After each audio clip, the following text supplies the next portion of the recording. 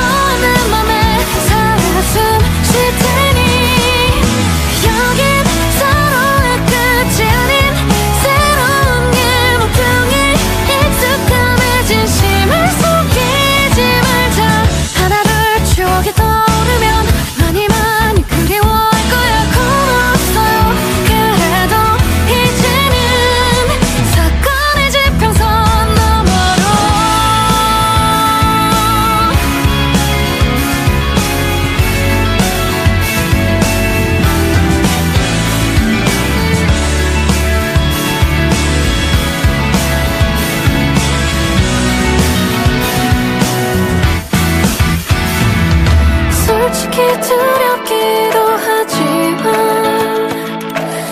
노력은 우리에게 정답이 아니라서 마지막